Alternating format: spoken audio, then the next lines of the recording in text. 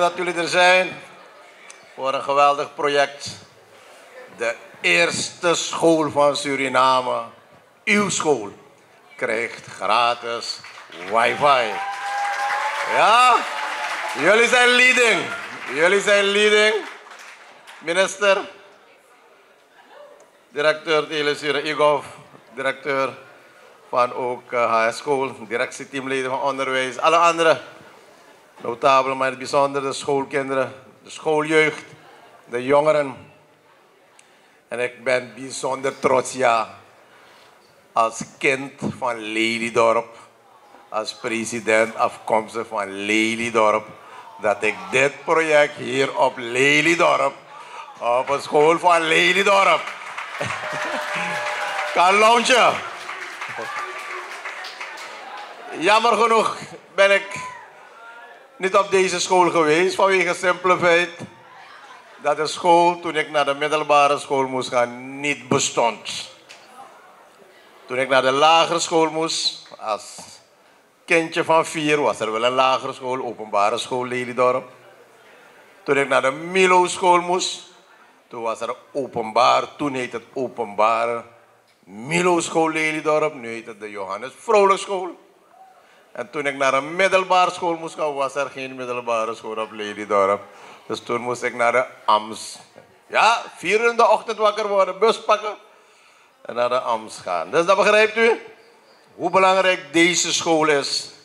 Dat datgene wat ik meegemaakt heb, vroeg in de ochtend opstaan, de schoolbus pakken en naar de stad gaan, dat jullie dat niet hoeven te doen. Geweldig. Mijn mensen, ik heb mijn smartphone meegenomen. Er komen heel wat mensen in mijn werkkamer en ze kijken om me heen. President, waar is uw computer? Ik zeg, ik heb het niet.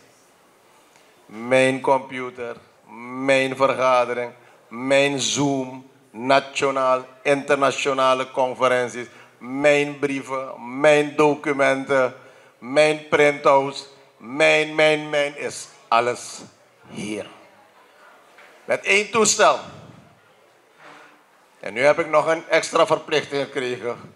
Want mijn kleindochter heeft ook een smartphone nu. Van 7 uur. Elke morgen krijg ik een voice. Opa! Dus daar moet je aandacht aan geven.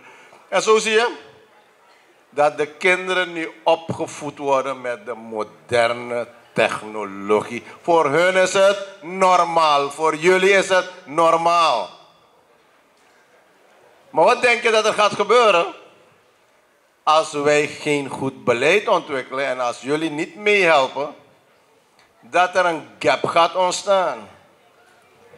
Want die oudere groep zoals ik, mijn leeftijdsgroep en misschien daaronder, die groep kan hiermee niet omgaan.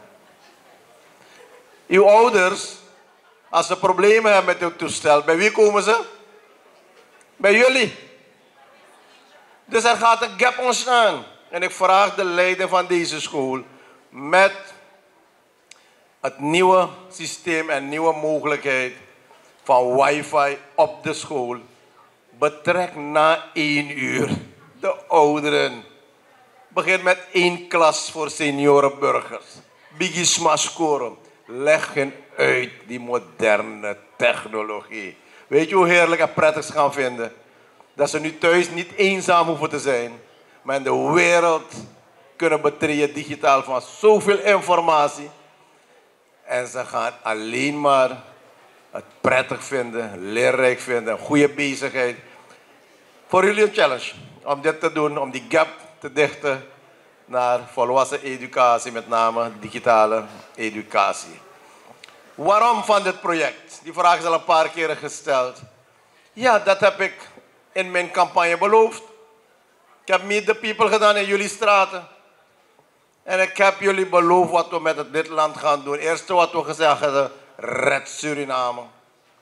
En leest u vandaag het rapport, de conclusie van het IMF. Nu kan je ook op internet gaan kijken wat IMF gezegd heeft. We zijn nu op dit moment, Suriname is gered. De economie is weer gezond. De economie is weer op het juiste spoor. De koers is weer stabiel. Kortom, We hebben dat bereikt. Maar we hadden ook gezegd, we zouden gratis wifi brengen op die scholen. Ja, vanaf mijn aantreden probeer ik dat, maar het is niet zo makkelijk. Het is niet zo makkelijk. En het is, ik noem het wel gratis wifi, maar het is niet duur, het is niet goedkoop, het is duur. Het kost geld. Dus met Telezuur praten, die zelf een challenge had om uit die rode cijfers te komen. Directeur, ik zie dat jullie uit de rode cijfers komen. Maar ik heb ook gezegd voor de studenten, voor de jongeren, moeten jullie een sociaal pakket hebben, zodat ze toegang hebben tot internet en daarmee toegang tot goed onderwijs. En ik heb begrepen, sociaal pakket is ready. Directieteam, als jullie belangstelling hebben, kan Telestuur jullie ook informatie over sociaal pakket, waar studenten, kinderen, jongeren aanspraak op maken voor goedkoop internetverkeer. Maar tegelijkertijd moesten we technisch dat in goed bekijken vanuit IGOV. Het ministerie van Onderwijs ging kijken naar die begroting die niet begroot was. Maar we zijn uiteindelijk, uiteindelijk zover dat we organisatorisch, technisch, maar ook qua kostenaspect dit goed hebben kunnen regelen. Alle scholen, we starten met VOS-scholen, alle scholen gaan het krijgen. Maar je moet met pilotfase. Laat één school goed gedaan worden. Kinderziekten zullen zijn, storingen zullen zijn. Dat goed begeleid wordt. En tegelijkertijd uitbreiden met dit model naar alle andere scholen. Ik ben bijzonder blij dat we hier zijn vandaag met elkaar in verband met de launch. De directeur van IGOF gaf het net aan dat de president hier vaker naar heeft gevraagd. Vanaf mijn eerste ontmoeting met de president in deze functie, in deze rol die hij vervult, benoemt hij het belang van dit project. En wij vanuit Telesuur beseffen ook het belang van dit project. Natuurlijk is het iets dat je moet voorbereiden. Je moet erover nadenken. Hoe ga je hem implementeren? En daarnaast zijn er een heleboel uitdagingen die op je pad komen. Belangrijk is, de voorbereiding hebben we verricht. Vandaag zijn we hier, de kick-off van deze pilot. Omdat het belangrijk is dat u ook deelgenoot bent van de digitale wereld waarin wij ons bevinden. Ik herinner mij van de periode dat ik naar school ging, de MULO-school, de middelbare school, dat bij de geschiedenislessen we het hadden over onder andere de industriële revolutie. De overgang van um, arbeid, handenarbeid naar machines en hoe dat zich allemaal plaatsvond. Na de middelbare school hield ik me er niet meer zoveel meer bezig, omdat ik mij op andere, um, andere studies volgde. Maar de revoluties hebben zich voortgezet, omdat na de tweede industriële revolutie hebben we gehad de derde en de vierde. Die betrekking hebben op het digitaal tijdperk. Wij leven in een digitale wereld. Wij hebben een digitale economie in de wereld, waarbij het belangrijk is dat toegang tot internet belangrijk is um, voor een ieder. De UN, United Nations, heeft daarom bij een van de Sustainable Development Goals ook benoemd het belang hiervan en een van de SDG's heeft betrekking daarop. En in dat kader is ook hun motto Leave No One Behind. Ook in dit kader is het belangrijk dat u, zeg maar, de regering hier invulling aan geeft, ook op deze wijze. Nu over het internet op school. Belangrijk is ook dat wanneer u deelgenoot bent van, zeg maar, dit wifi-project, dat u ook zich realiseert dat in deze digitale reis je ook voorzichtig moet zijn. Je moet voorzichtig zijn. Er zijn aspecten waarbij je met name in aanraking kan komen met hackers. Je kan in aanraking komen met allerhande activiteiten, waardoor cybersecurity heel belangrijk is. Dat zijn ook zaken die de EGOV in voorbereiding heeft gehad. waarbij het belangrijk is dat we op deze manier u een, uh, kunnen garanderen dat u een veilige reis kunt hebben in deze digitale wereld. Wij van Telesuur zijn dankbaar dat we hier invulling aan hebben mogen geven. We gaan dit verder monitoren. We gaan vervolgens ook naar andere scholen en we gaan ervoor zorgen dat dit idee dat u heeft gehad, president, dat het een groot succes wordt. Gefeliciteerd, HHS. Belangrijk is dat wij grotere stappen gaan moeten maken met ICT in het onderwijs. Je hebt twee grote doelen. Leren over ICT en leren met behulp van ICT. En dat zijn belangrijke zaken.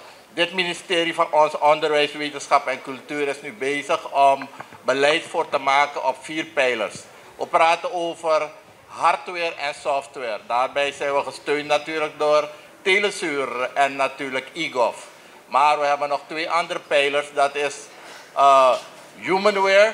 Dat wil zeggen capaciteit creëren, kennis, waarbij leerkrachten en de school en de leerlingen ook in het curriculum voldoende leren met behulp en over ICT. En dan hebben we het vierde component, is belangrijk om te kijken naar aspecten die te maken hebben met courseware. Dat betekent zoveel mogelijk integreren van ICT in het onderwijs. En dat betekent bij de verschillende vakken. U heeft geen idee in de wereld van vandaag hoe je makkelijk natuurkunde, wiskunde en zulke abstracte vakken kunt leren met applicaties.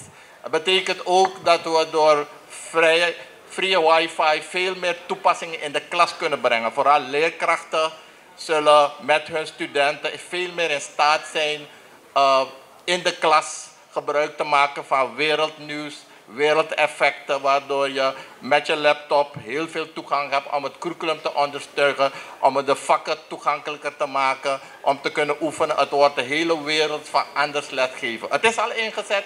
We praten niet over magic things, maar het is al ingezet. Belangrijk is dat de beleid van de regering, uh, Santoki Brunswijk, is toch om wifi vrij beschikbaar te stellen op de scholen. Dat betekent dat we nu heel veel moeten gaan investeren in uh, curriculum aanpassingen waarbij ICT-toepassingen en applicatie optimaal worden gebruikt. Belangrijk is dat we beginnen vandaag met een aantal projecten voor de VOS-scholen. Bovenaan, we zakken terug naar de VOJ-scholen en dan helemaal naar de basis- en kleuteronderwijs, zodat het hele systeem in staat is. HBO en de universiteit zelf al hebben enorme voorsprongen, maar die hele bedrijfstak vanuit het ministerie gaat aandacht krijgen. En ik denk dat we met deze stappen in staat zullen zijn grotere stappen te zetten om het onderwijs te moderniseren. Aan u allen wil ik dus aangeven dat we de komende tijd dus hele grote stappen gaan zetten om niet alleen wifi beschikbaar te stellen, is een randvoorwaarde, maar dat we ook enorm veel met wifi toepassingen, makkelijk toegang op de scholen en in de klas in staat zullen zijn onderwijsvernieuwingen te brengen. Het is belangrijk omdat tegenwoordig die arbeidsmarkt waar u straks op gaat ook belangrijk vindt dat de competenties van onze leerlingen zo optimaal moeten worden dat ze in staat zijn naadloos aan te sluiten op de beroepen. Want uw ICT-vaardigheid, die ICT-competentie is zo belangrijk in het bedrijfsleven. In alle beroepen vormt ICT-skills belangrijk. Dus we moeten ook enorm veel in het curriculum gaan kijken hoe we optimaal onderwijs kunnen geven op ICT-gebied. Laat vandaag een mooie mijlpaal zijn. We hebben een partnerschap met Celesuur en natuurlijk EGOV. En de overheid en mijn ministerie staat garant dat er de komende tijd flink wordt geïnvesteerd in het onderwijs op ICT-gebied.